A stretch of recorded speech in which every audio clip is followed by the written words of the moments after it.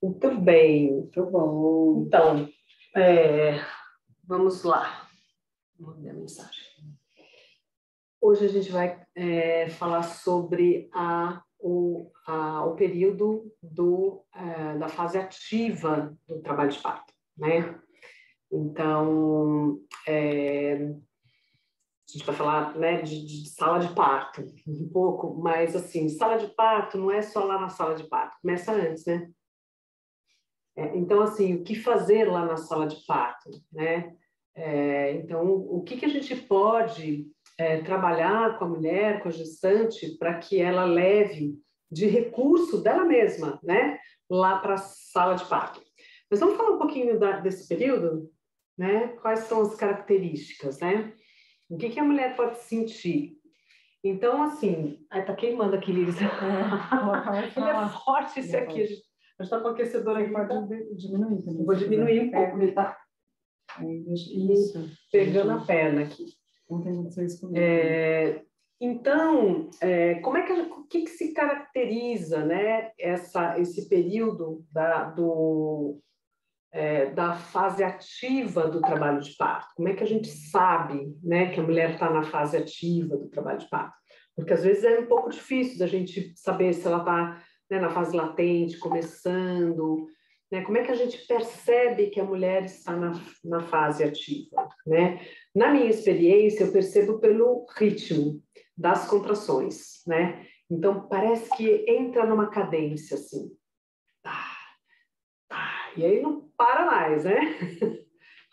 né? Mas às vezes, antes, pode ser que ela sinta um pouco esse ritmo começar né, a, a se intensificar. Então, eu sempre falo para a gestante tomar um banho. Toma um banho quente para você perceber se realmente é, você, né, as contrações continuaram, e aí sim entrou num trabalho de parto, ou então se dá aquela relaxada, então pode ser um pródromos, ou então uma fase latente que está engatando ainda, né? Que está no comecinho ainda. Mas a gente vai falar desse período, né? Que é o período mais longo do trabalho de parto, portanto ele é muito importante que a gente é, é, olhe para esse período, né? Porque ela vai ficar durante muito tempo, né? Com as contrações, vai ter que lidar com cansaço, vai ter que lidar com dor, vai ter que lidar com muitas coisas. Aqui tem gente chegando. É, então é isso, né? O ritmo, a intensidade das contrações, então são aquelas contrações que estão chegando é, com tudo, né? São contrações poderosas, intensas, é, é mais ou menos no período de um minuto que elas demoram, duram, né? A contração. É, e, e, aí o intervalo entre elas vai ficando menorzinho, né? Cada vez menor. Então, eu gosto sempre de pedir para a gestante é, entrar no aplicativo, no marido, né? Porque o ideal é que ela não fique vendo o celular, né? Que a, a tela do celular atrapalha. O que, que atrapalha? A melatonina. Atrapalha os hormônios que estão começando a ser é, descarregados ali para o trabalho de parto, né? É, então, entre num, num, aplicativo e grave por pelo menos uma hora como é que ficaram as contrações. Claro que se durante essa uma hora coisa pegar, pegar, pegar, pegar mesmo pesado, aí, né, entre em contato com a gente e tal. Mas, é, no geral, é, eu falo para ela isso se observando, né? É, o que acontece muito é que na hora que a mulher entra em trabalho de parto, ela fica meio assim, naquela ansiedade, né? Vamos para o hospital, é agora. Já então, vai assim, nascer. Vai né? nascer. Não, calma. Se observa. Às vezes acontece, viu, gente? Eu acho muito bom quando elas têm doa, que dá uma assistência, assim, de conforto, né? Como eu não faço. É doa ou físio, né? É isso que normalmente as que passam comigo têm mais doa. Porque nesse momento, quando ela manda mensagem para mim, eu falo, fala com a fulana, porque ela vai te orientar melhor. É, porque elas, elas começam, eu tô sentindo isso. Às vezes manda ali aquele, aquele borrão que sai, né? Exatamente, exatamente. O, o tampão, que é o que a Lili está falando, nem sempre é um sinal de trabalho de parto. É. Mas pode acontecer durante o, o, a sequência, né, o decorrer. Por quê? Porque o trabalho de parto é o trabalho do colo do útero, né? Esse colo está sendo trabalhado, então ele pode sair o tampãozinho ali no meio do processo. Então pode acontecer um pouquinho antes, um pouquinho depois, no meio do trabalho de parto, só no final, né? Independe. E aí, é...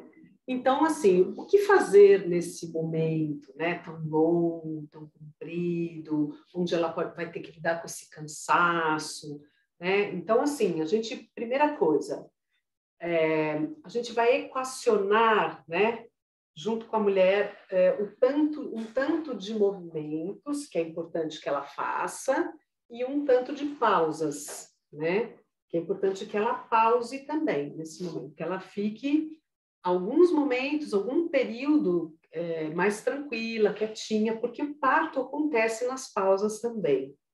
Então, como equacionar isso? Ela vai sentindo, ela vai percebendo, né, no seu próprio corpo. Tem umas gestantes que às vezes entram trabalho de parto e ficam quietinhas, assim, mexe comigo, me deixa aqui. Não deixa, deixa ela quietinha. Agora, se a coisa começa e, né, e a coisa não está não tá, né, desenvolvendo, é interessante que ela se movimente, né? Então, o momento em que a gente vai é, é, que a gente vai interferir, porque isso é uma interferência, né? É, pode ser né, com muita delicadeza nos momentos em que você sente que a tal está muito paradinha, ou tem mulher que já começa, né? Você já né, fez com ela lá no consultório, você já trabalhou com ela, então já começa a se movimentar.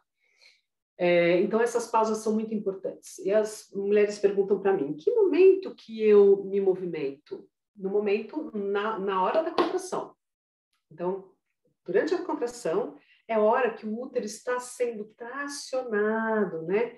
Então, essa tração que o útero está fazendo e a gente se movimentando vai ajudar nessa oscilação. Estou fazendo bem grandão, tá, gente? Mas ainda pequenininho, né? É, que o bebê precisa, né? Que vai ajudá-lo a fazer essa descida é, no canal de parto, né? Entre as contrações, descansa, fica quietinha, né? É, então, assim, durante esse trabalho de parto, é importante, durante esse período né, do trabalho de parto, é importante a gente entender que nós temos dois caminhos. Aí vai a aula, hein? Isso. É. Vou começar a aula. Dois caminhos, tá? Um caminho que é do sistema nervoso simpático, um caminho que é do sistema nervoso parasimpático. Isso é super importante entender, né? Então, o caminho do sistema nervoso simpático, né, é um caminho em que o corpo vai entender essa, é, as contrações e todos os sinais que estão acontecendo como uma ameaça. Né? E, e isso tem a ver com uma, a nossa consciência. Por isso que é muito importante ser trabalhado antes, né? O que, que ela entende como trabalho de parto, o que, que ela viu, né? O que, que a cultura colocou para ela, o que, que ela né, o que, que ela escutou da, na infância dela, como que foi o parto dela. Então, essa história ela é muito importante, porque isso vai, é, é, essa subjetividade né, de cada um vai interferir nesse processo. E esse processo do caminho né, do sistema nervoso simpático vai fazer com que ela contraia adrenalina, com que dispare hormônios que vão tensionar, né? Muito mais, vamos deixar ela mais, é, vamos dizer assim, alerta. O caminho parasimpático é um outro caminho onde o corpo vai entender: isso aqui é trabalho de parto. Então, eu vou relaxar, eu vou soltar, eu vou deixar, eu vou me largar, eu vou, né, respirar. Então, assim, é, a, esse caminho vai trazer, se ela consegue relaxar nesse processo, né, nesse caminho, se ela entende que isso, né, ela precisa se entregar, que ela precisa relaxar, que ela precisa é, descontrolar um pouco, né, não, não ficar controlando também, é, ela vai liberar endorfina, né, e vai ser mais tranquilo o trabalho de parto. Então tem a ver, né, com o que lá no cérebro a gente está interpretando como o que está acontecendo com o corpo, né? E aí, os movimentos, a respiração, um banho quente, tudo isso vai favorecer que ela entre nesse outro caminho do sistema nervoso simpático, né? É, então, é como se, assim, né, esse estímulo que está acontecendo de dor, de sensações de pressão no corpo, né, que o corpo está né, começando, é, quando a gente movimenta, o corpo vai, nossa, tem movimento também. Então o cérebro vai falar, tem movimento também. E a gente respira junto. E essa respiração, o movimento, vai colaborar como estratégias, né, para passar a dor é, e passar por esse processo com muito mais tranquilidade, muito mais é, é, com menos dor, né? É, e assim, tem uma coisa na mulher assim, eu tenho algo para fazer. Eu não fico aqui só, ai, tá doendo, né? Eu tenho algo a ser feito no meu corpo. Eu já ouvi mulheres chegarem aqui no consultório e falaram, não, não eu fui lá para o São Luís, tinha bola, tinha um monte de coisa e eu não sabia o que fazer, né? Então é, é, é esse o caminho e é, é assim que eu, né, é, vejo esse esse período é, e equacionando bem para que ela não fique cansada. Então, assim, né? Se está movimentando demais, então dá um tempo, para, e para em algumas posições, a gente não precisa parar e ficar sentada, né? A gente pode parar numa posição facilitadora, né? É, muito importante que a mulher também, eu, por exemplo, dou um repertório que a gente pode fazer hoje aqui, né, dos movimentos pélvicos em pé, apoiadinha ali na, na maca, é, mas é muito legal que a gente dê esse repertório para que lá na hora ela faça, assim, estimular também que ela faça aquilo que der vontade no corpo. Então, eu dou o repertório, mas nos últimos dias eu faço ela dançar, solta o corpo, sente o seu corpo, entra para dentro, percebe né, que movimentos que o seu corpo quer fazer, né? Que é um pouco uma linha que eu e a Liz, a gente acredita muito nisso, né, Liz? Vem cá. Não, e é muito bom ouvir você falar, vai dando, vai dando mais forma também. Eu tenho usado muito é, o termo conexão, né? Então, da gente, como é que a gente vai sentindo nesses movimentos? Oi, Pri, veja, nesses movimentos, como é que a gente vai sentindo as camadas dos tecidos e as conexões deles? Então, falou assim, olha, percebe que tem uma, uma sensação da pele, né? Quando você vai abrindo. Aí, à medida que você vai abrindo mais, se esticando mais, você vai sentindo que vai para camadas mais profundas dessa pele. E aí, começa a pensar lá no seu pé e na ponta do dedo da mão. Como que eles se conectam, passando por ali onde você está se esticando. Né? Então, essas experiências de movimento, de abertura, de rotação da pelve, de movimentos da da pelve, não só de rotação, né? As lateralizações, as inclinações, que são movimentos difíceis de ser trabalhados. Uhum. Né? Se ela não tem a experiência do movimento e essas conexões, eu, eu tenho percebido que faz a diferença, né? Tanto no sentido de mobilização das estruturas, das estruturas músculo-esqueléticas e da face, né? Do abrir os espaços, quanto da consciência, uhum. né? Então, é, é uma consciência sutil, mas é uma consciência que permite esse espaço. Calma, peraí. Olha, quando eu me movimento, eu sinto as estruturas torcendo, eu sinto as camadas, é profundo. Aí eu vou numa camada mais profunda, eu abro, alivio, eu vou soltando, eu vou para outro lado né, são, são experiências interessantes, assim, eu gosto de trabalhar a aprofunda, né, essa, essa questão das fáscias, né, de sentir esses uhum. elásticos, por quê? Eu, eu vejo assim, Exatamente, assim, né, que sentir os elásticos, você falou, vou pegar Porque a, a, a, a, gestação e, e, assim, lá no momento do trabalho de parto, é uma negociação de espaços, né, então, esses espaços da pelve que precisa se abrir, um bebê que está né, se movimentando, é, lá por dentro. Então, há uma negociação de espaços muito grande. E acho que, assim, essa percepção que a gente pode trazer antes, né, são percepções que né, você aciona um lugar ali de, de, de, é, de observação, de auto-observação, que ela vai levar lá no parto. Gente, leva na vida, né? Isso é, é legal para levar na vida, né? É, é, é, assim, né? Como é que eu estou aqui sentada? Eu estou me percebendo, eu já estou com dor nas costas, você vai fazer mais, tá? Tá bom.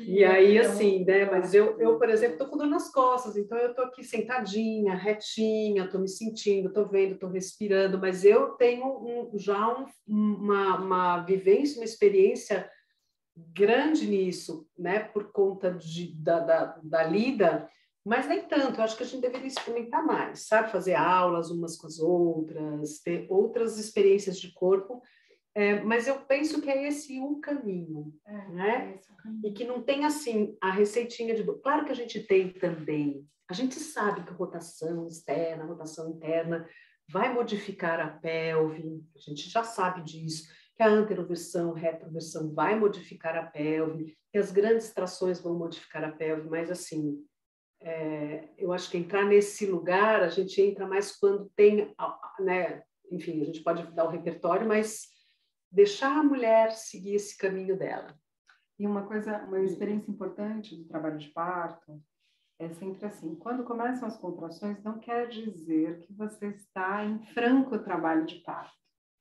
Né? Exatamente. Então, é, até uma coisa que eu gosto de explicar é que a contração do útero ela não acontece de uma forma uniforme ela vai acontecendo numa, de um lado, depois do outro, até que essas contrações se, se intensificam para acontecer no útero como um todo. Uhum. Né? E aí as contrações é que vão posicionando o bebê, o movimento da pelve ajudando na rotação do bebê, então são um conjunto de fatores que vão fazendo o parto evoluir, as fases de parto.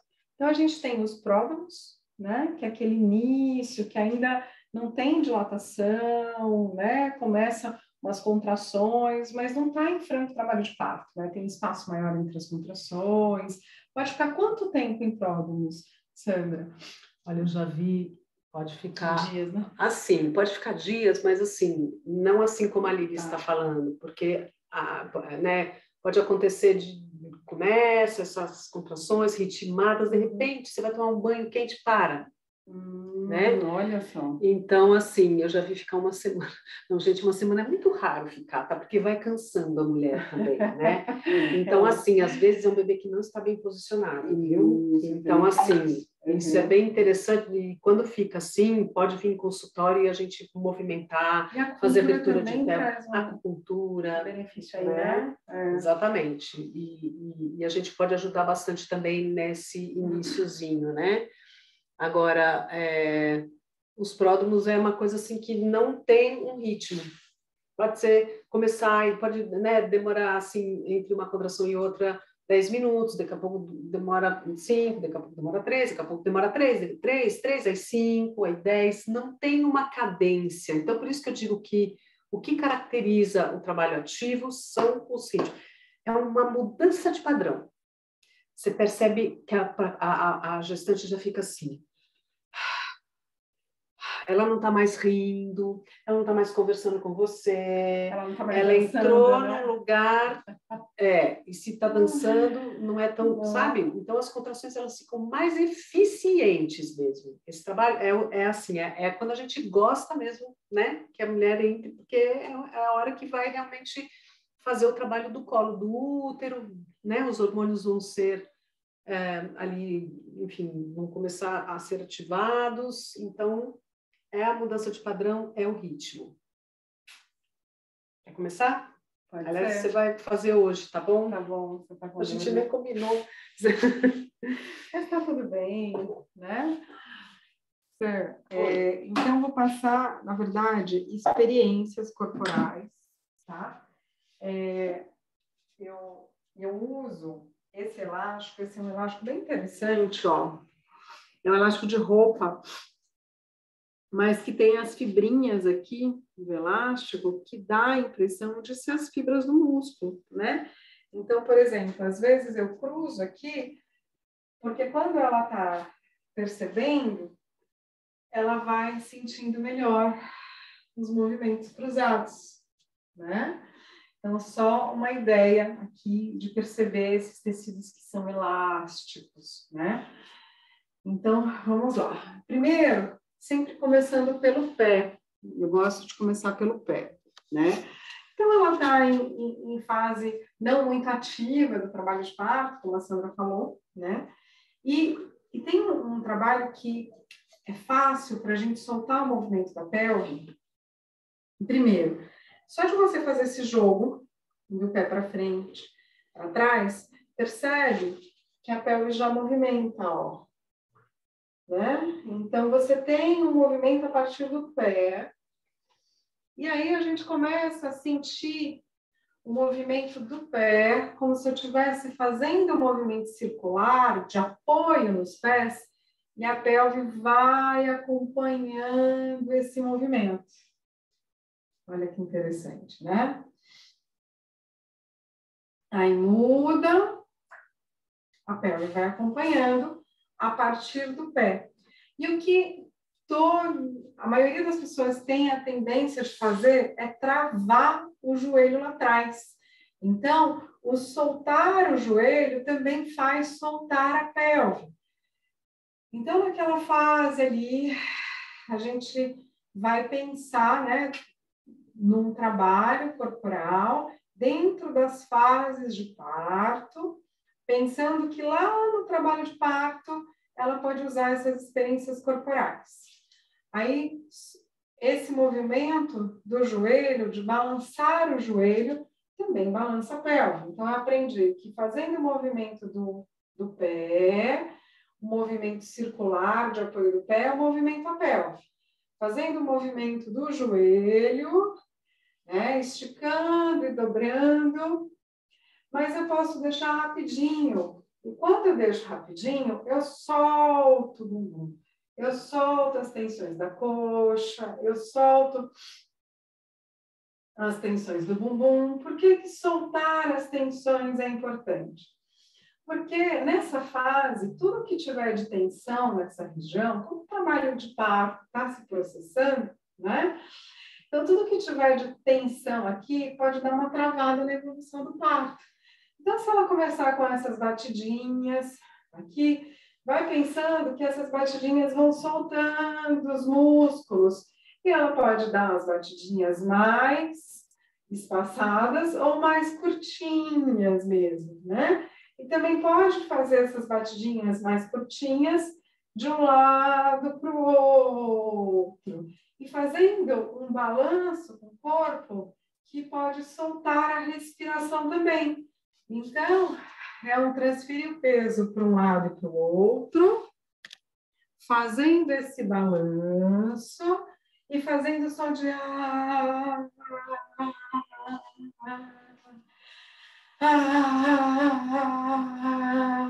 porque aí a gente vai dando um ritmo que o corpo vai entrando nesse ritmo, que é onde a gente quer que o corpo esteja fluido durante o trabalho de parto, sem precisar ficar colocando musiquinha e dançando.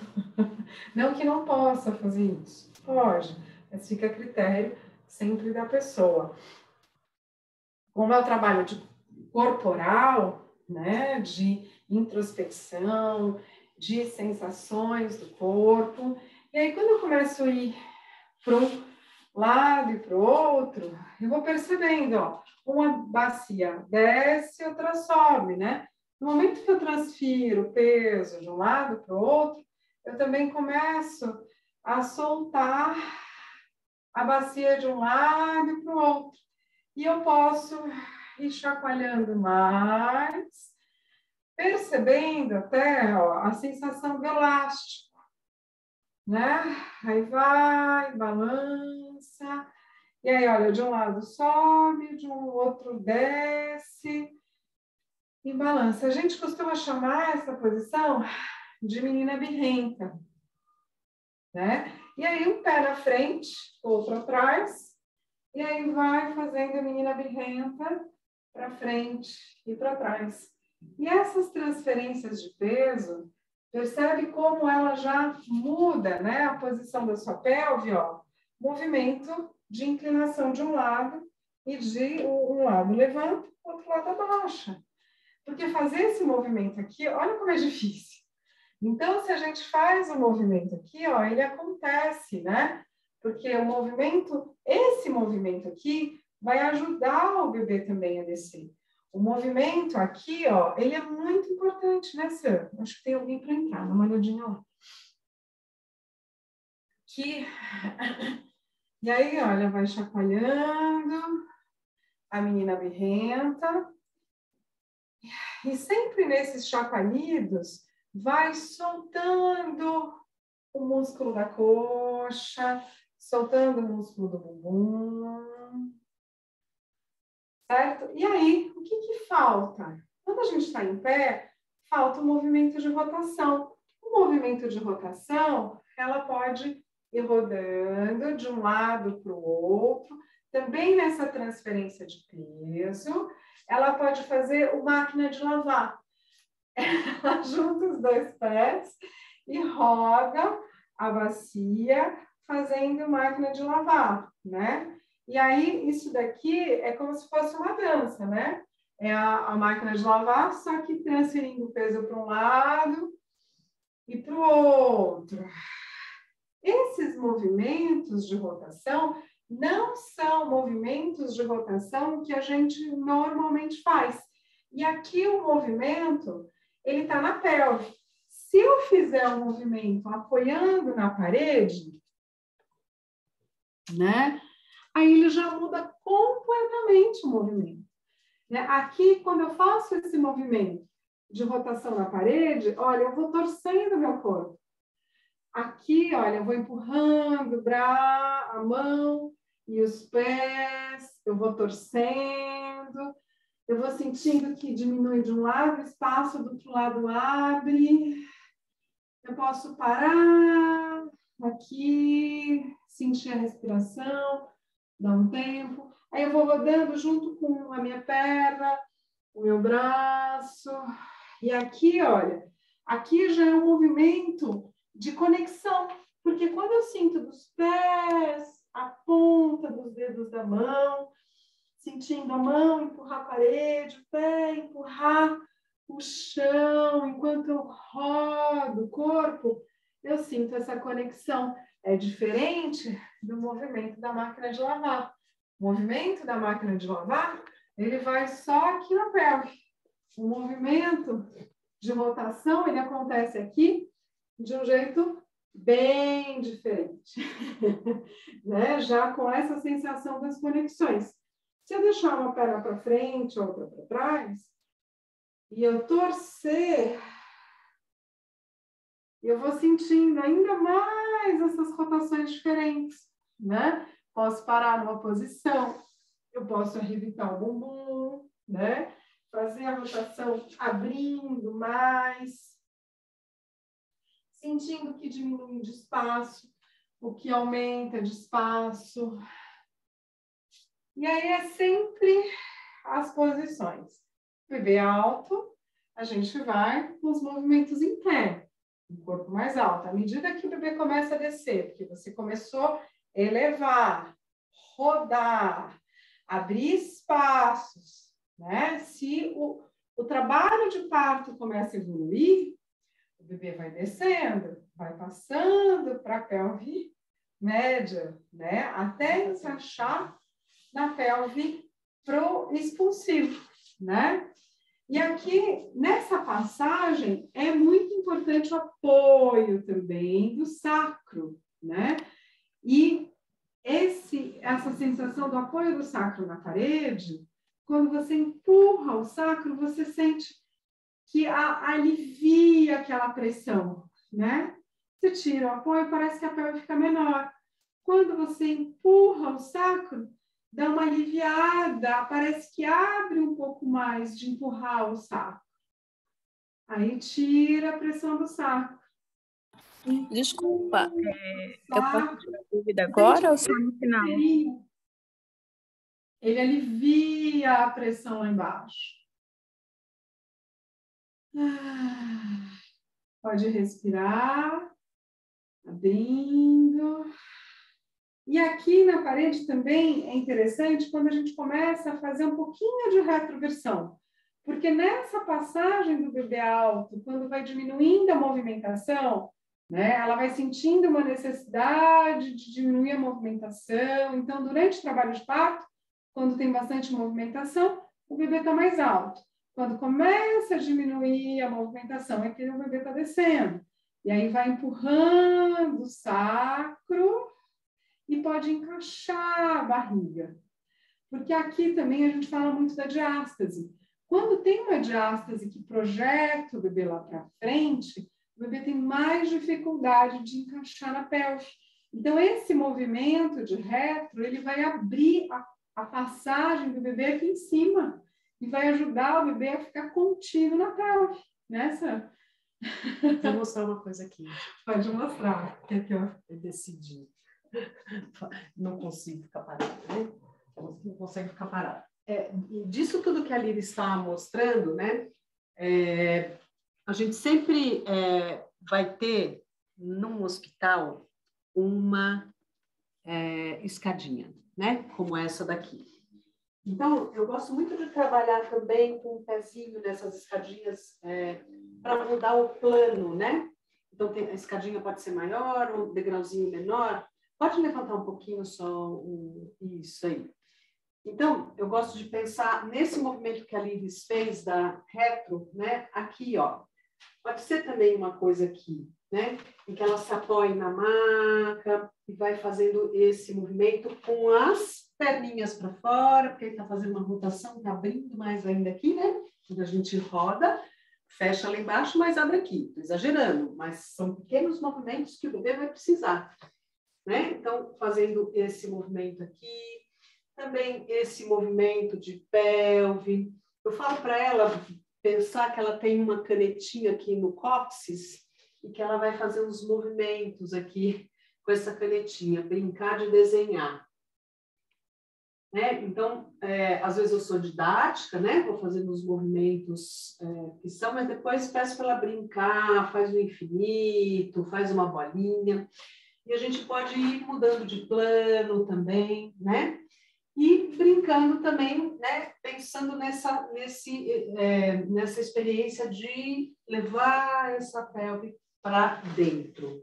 E aí, com o, o, a escadinha, a gente também pode né, fazer movimentos aqui com a pelve que facilitam também esse movimento, né? A pelve está livre aqui, desse lado mais, né? E a gente pode levantar, pode vir para frente, para trás, né? pode brincar nos diversos eixos, pode girar. Então, assim, coisas simples, é, eu acho que funcionam muito mais. Menos é mais, né? Quando a gente está falando um trabalho de parto, não fazer coisas muito elaboradas ali, que na hora elas vão falar, não lembrei de nada, mas ah, eu lembrei só daquele apoio que você fez ali, tinha uma, uma escadinha lá e, e aconteceu.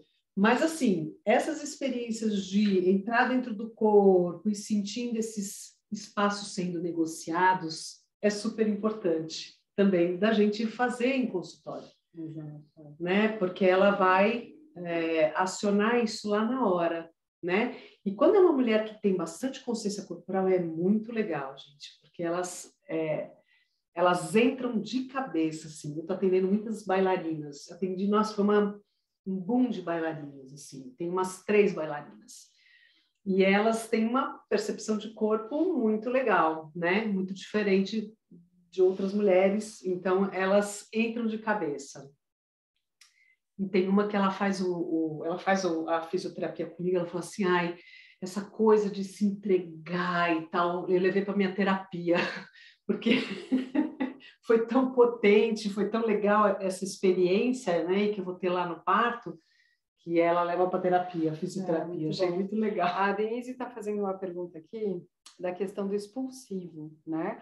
Essa não seria a aula do expulsivo. É, a gente pode marcar uma outra né? aula. A gente tem, tem, uma aula de expulsivo. Outras coisas né? para. Ah, e é que eu nunca consigo assistir. Ah, mas fica gravado, Dê. É verdade. Tem que me organizar tá para assistir as gravadas. É, tá gravado. Tá bom. E aí, o, os movimentos né, do, do expulsivo é, a gente tem outras conexões que são importantes, a respiração também, mas aí a gente vai trabalhando mais na posição de gato, né, de quatro apoios, isso, né? Isso. A gente e... pode fazer. Mas um pouquinho, pelo menos, ela consegue se movimentar. Consegue. É, consegue. São são mais Depende os micros é, ela vai ficar onde ela e os mais os micromovimentos da pelve Mas, por exemplo eu já já acompanhei uma, uma, mulher que ela teve o bebê dela nessa posição que eu fiquei aqui é. agora uhum. e, e, e, assim então ela o que, que ela fazia ela ela ficava aqui aí ela rodava para dentro a perna né? Porque a gente tinha treinado aqui, então ela sabia, não falei nada para ela. Ela ficava rodando assim para dentro, empurrando o bumbum. De repente ela dava umas acocoradas, ficava aqui embaixo, na hora da contração, depois ela subia e o bebê nasceu ali em pé mesmo, né? Uma equipe que, que banca esse parto em pé, né? Que tem... Ai, legal, obrigada, viu? Desculpa ter saído do tema. Imagina, imagina, aqui. imagina. Não precisa pedir desculpa, não. É só para a gente posicionar, porque senão também a gente não explora né, essas fases do trabalho de parto de uma é. forma é. de uma forma o que, o que eu acho importante boa. assim a gente não ter por exemplo é. né por exemplo um, uma uma é, uma exacerbação de, de movimentos né enquanto fisioterapeutas que eu estou vendo que tem bastante tem alguma gestante aqui hoje não sei tem gestante não, físio. Não, só físio. Hoje é curso mesmo, dia do curso. É. Então, é, o que eu penso é da gente ter muito cuidado com o que a gente vai propor à mulher, assim, né? Observa o que ela está fazendo com a pelve, observa como que está a respiração. Se tem, está travado, você vai lá, né? Você não precisa falar, ó, oh, destrava, né? Põe a mão, respira junto, né? Faz um pouquinho de pressão para ela sentir a inspiração, a expiração põe a mão nos ombros, né? Então, assim, aí, nossa, porque tudo que você fizer vai ser uma intervenção, né? A nossa intervenção precisa ser muito suave, a gente precisa ser invisível ali naquele momento, assim, quase, né? Ela é a protagonista, né? Não a gente, né? Então, é muito, muita atenção é, nessa, nessas propostas, né, que a gente vai fazer. É, e, assim, pausas são fundamentais, não esquecer das pausas, né? Elas são muito importantes. Meninas, eu Pode... tenho uma pergunta. Pode fazer, Valesca. No caso dos partos que são a jato, tal parto a jato, né, que a gente vê muito se falar e as gestantes vêm com essa, ah, eu queria um parto a jato, não sabe o que, que acontece ali na biomecânica delas que define esse parto a jato e o que o assoalho pélvico sofre com esse parto a jato. A conduta da fisioterapeuta ali no trabalho de parto vai ser conter os movimentos para não acelerar. Eu tenho essa dúvida. Ela pode diminuir os movimentos da gestante para que esse assoalho pélvico fique mais tempo ali é, como é que eu falo, estável, ou ela deixa evoluir mesmo e vir um parto a jato? É uma dúvida meio boba, mas assim. Eu, eu jamais é, é, pensaria em brecar. A não ser que ela esteja no meio da rua andando. Aí eu falo, breca, prende, porque senão vai nascer no meio da rua. assim, né? Mas assim, tá nascendo, vai nascer, deixa nascer. O que, que acontece com os partos rápidos é que não dá nem tempo muito de fazer isso que a gente fez aqui, mas é, é, raro o parto rápido, né? Muito raro, assim. Hoje, hoje, por exemplo, eu atendi uma que o parto foi muito rápido. E uma indução ainda por cima, né? É... O que, que acontece com o assoalho pélvico? Às vezes não dá tempo de fazer aquela massagem que o bebê faz e volta. Então, às vezes, lesiona um pouquinho mais o assoalho pélvico, tá?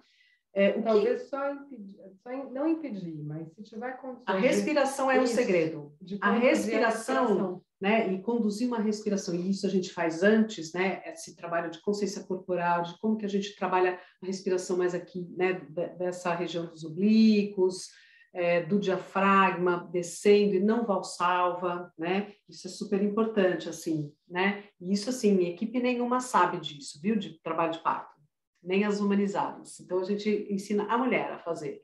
E tem dado super certo, assim, elas têm me contado. Sandra, fiz a respiração que você fez e tal, nenhuma laceração, tal, tal, tal. É, eu, eu acho, eu imagino que um parto rápido acontece por N coisas, tá? Mas eu imagino, né, tem a, a minha hipótese, tá? É que ela realmente consiga se relaxar completamente ali na pelve, né? Enfim, tenha essa capacidade de fazer isso. Mas não é uma regra. Às vezes a mulher, ela, né, você percebe aqui que ela não tem toda aquela consciência corporal. Essa mulher, por exemplo, não tinha tinha um períneo mais, mais tensozinho, mas o parto dela foi rápido. Vai entender.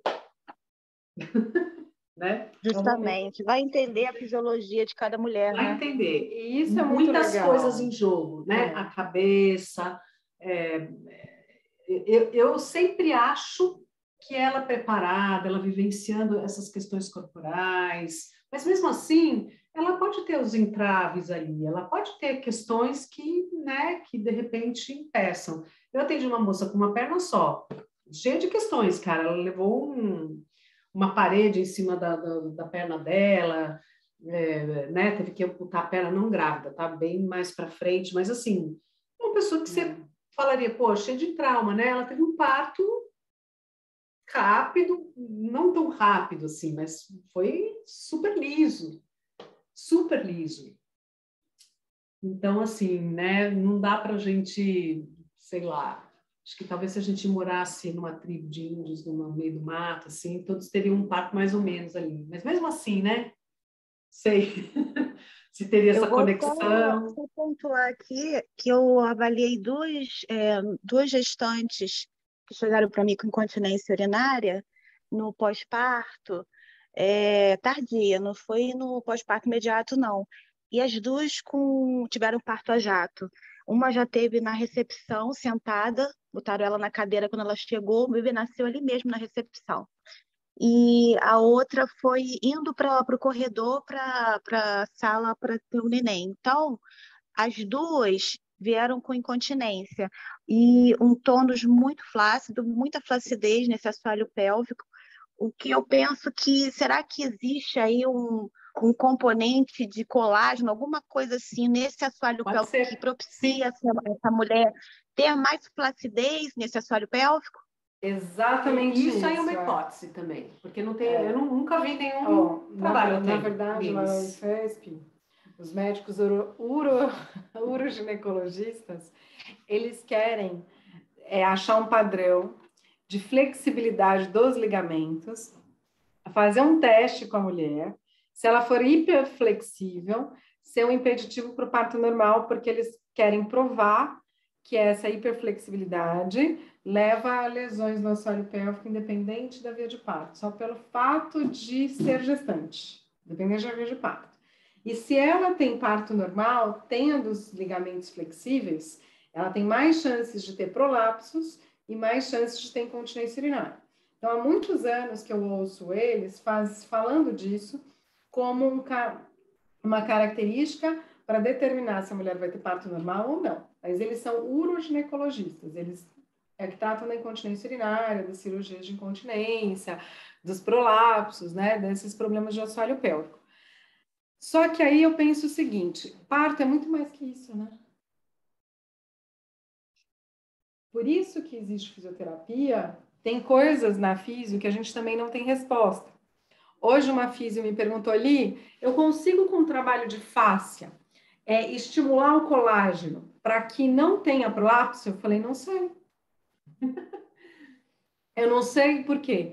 Depende da constituição, da ingesta de líquido, se aquele tecido vai produzir colágeno ou não, por uma série de de vitaminas, de sais minerais, de metabolismo da metabolismo, mulher, é, né? singular, Os né? processos, depende de muitas coisas, né? Depende de muitos Os fatores. processos inflamatórios, né? Isso. A gente não tem, a gente sabe a, a, a, atividade de vida diária dela, como, né? se ela fica muito sentada, Isso, se ela né? faz né, algum tipo de atividade ou não. A própria genética dela. A própria genética. Se ela já tem uma constituição para ter uma rigidez maior dos tecidos, da face, da musculatura, ou se ela é mais flexível, né? É, é. Então, olha que interessante. A gente sabe que a fáscia, para produzir, a fáscia tem um componente de colágeno ali e ela produz colágeno.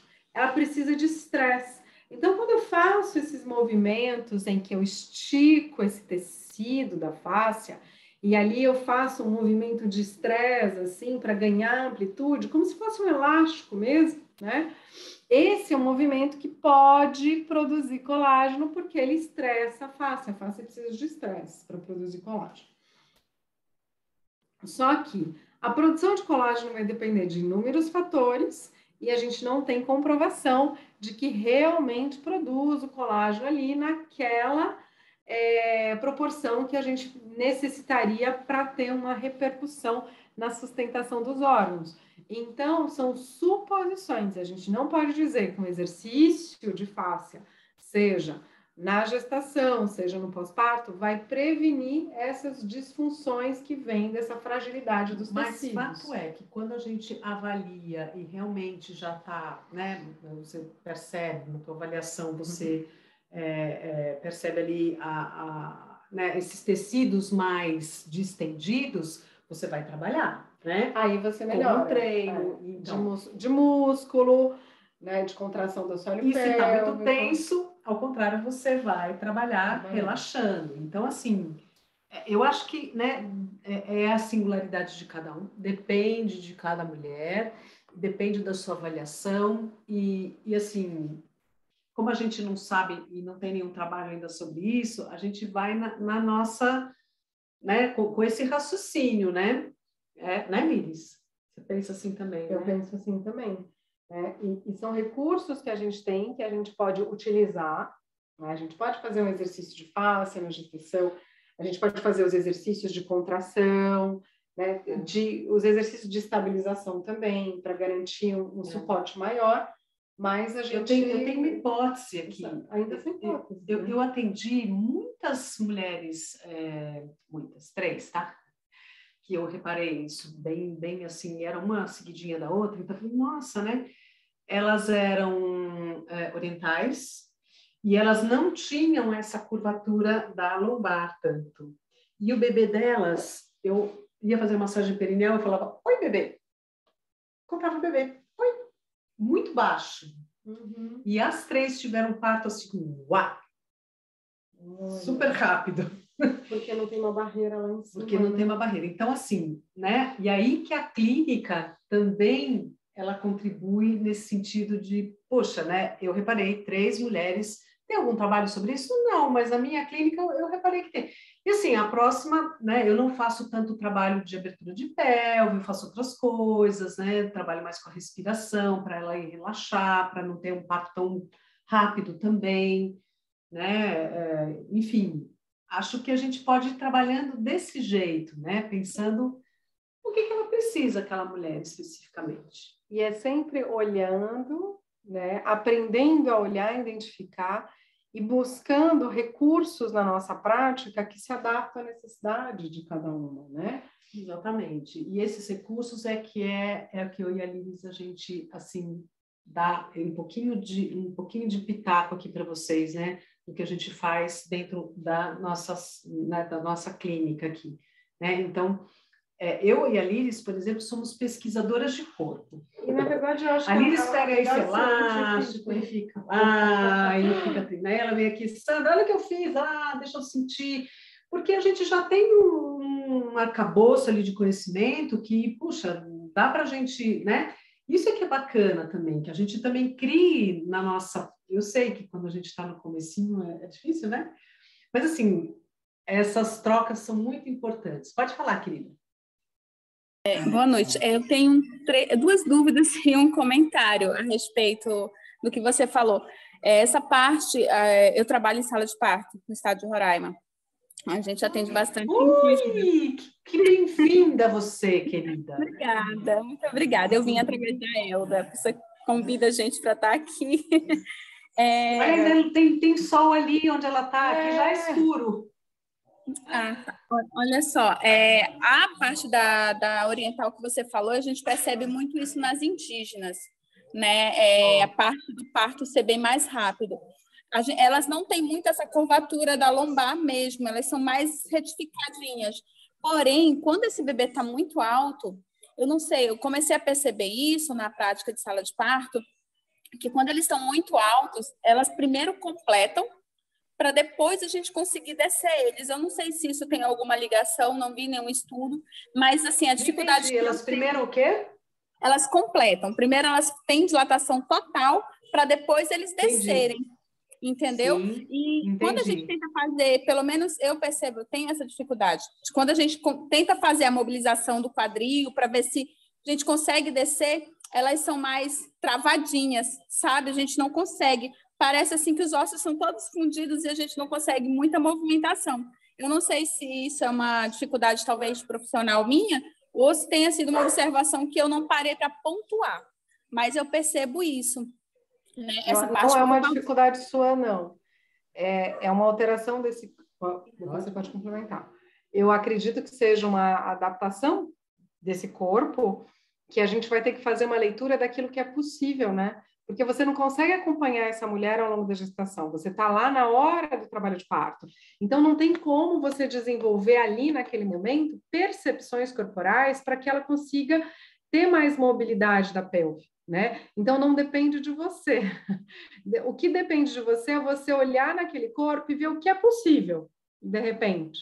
Né? Então, já que você tem um perfil de mulheres que tem, que apresentam essa alteração biomecânica, você pode pensar de que forma que você pode ali no momento conduzir para dar uma aliviada, mas não é, é, eu acho que é uma coisa muito pontual assim, mas eu acho que com a experiência você vai conseguir pensar e pensando mesmo, eu né? Eu trabalharia, por exemplo, ombro, ver se ela não está é, tensa, se não é um medo que está fechando ali, porque isso também é uma outra questão que, é, que pode acontecer na hora do parto, o medo trava. A, a gente, quando Sim, tem. A gente tem esse é... porém, porque assim, a maioria da prática do indígena, indígena mesmo, que a gente.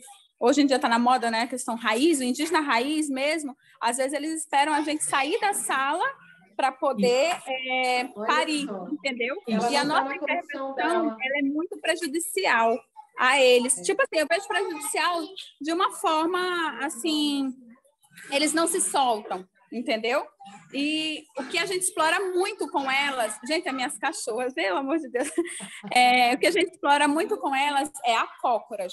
Trabalho muito, muito, muito, muito a cócoras com ela, mas eu percebi essa questão do quadril, né? Aí a dúvida também gerou em cima disso. Quando eu, eu quero descer esse bebê, que ele está muito em cima, eu vou empurrar esse quadril dela, ela vai. Eu não, ela vai empurrar contra a parede para a gente poder descer mais esse bebê Se na já tem o quadril é, reto, retificado, eu, eu não faria aí, não sei. Eu, eu, eu investiria em movimento mesmo. Né? Mas aí, assim, é, aí fica você, depois você conta para a gente, né? O que, que você pensou, mas eu imagino que ela não está no ambiente dela, que isso pode, ó, travar. Tenho essa sensação, tá? porque só depois que o colo de útero é, é, dilatou completamente, é meio esquisito, assim, né? Porque ele vai acontecendo tudo meio junto, né? Vai descendo, vai, em geral, acontece tudo meio junto. É como se a sensação que me, de, me deu é como se essa mulher tivesse perdido o poder que ela sempre teve. É, é. eu não sei como é que são as dinâmicas aí de parto, se deixam e... ela ou se bota naquela maca, aquele frango assado, né? Ou se deixa ela ter o bebê de cócoras mesmo, não sei como é que são as intervenções aí, né? É, a gente está numa briga, a gente assim, né? Uma briga entre aspas muito grande para mudar esse conceito de parto em litotomia, né? A gente é uma briga, a gente costuma dizer que é uma briga muito nossa disso, de tentar mudar. É, hoje a gente pratica muito a lateralização do parto lateralização. Ah, isso é bom, isso é bom. A gente até chegou a ver assim, ai, lateralização, isso é receita de bolo, todo mundo lateralizado. Aí eu até falei assim, não, não é receita de bolo isso. O que que acontece? A gente lateraliza porque fica mais próximo da litotomia. Então, vocês conseguem ter uma visão da vulva da mulher e faz o parto em uma litotomia deitada. Foi assim que eu consegui e quatro apoios. Quatro apoios. Quatro apoios eu, é legal. Menos, assim, é, mas eu tenho uma resistência muito grande por parte da equipe da obstetrícia. Fala Entendeu? que protege mais o períneo, sabe? E é verdade um pouco, mas. Aí existe a dificuldade do não conseguir pensar. Aí eles dizem: como que eu vou conduzir a cabeça desse bebê? Eu digo assim: gente, pensa o contrário, é a mesma coisa. Você joga. Não precisa conduzir, tira a mão daí. É, Eu, outro dia, um comentário rápido aqui. Olha só, oh, vamos fazer um, um, uma próxima, ou sei lá, a gente Isso. pode até fazer a próxima sobre é, o expulsivo, e aí a gente traz essas experiências que são super ricas, assim, adoro ouvir. É, mas você tinha mais uma pergunta, mais uma observação a fazer, isso? Tá fechado o seu microfone.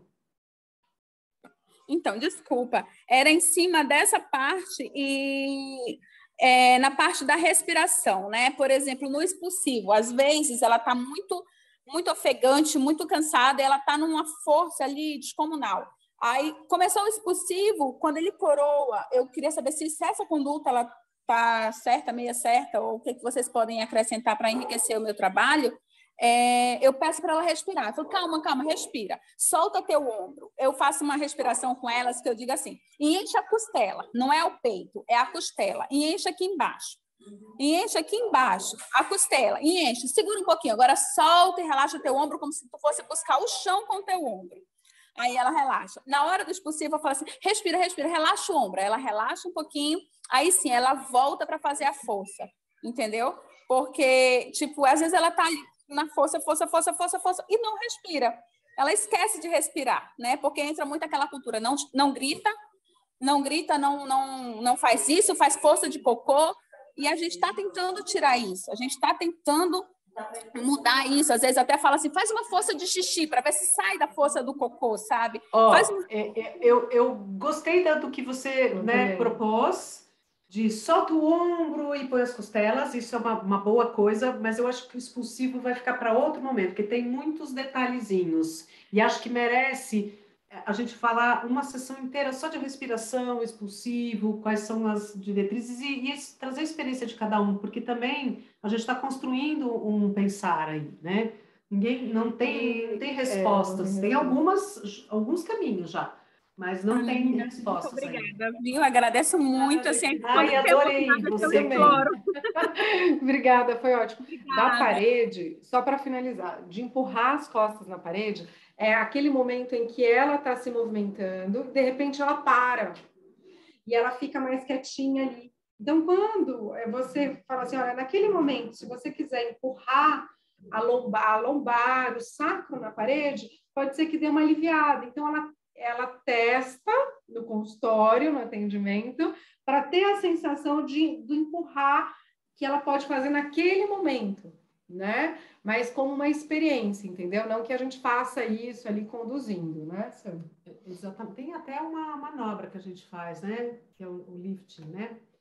Fica para a próxima.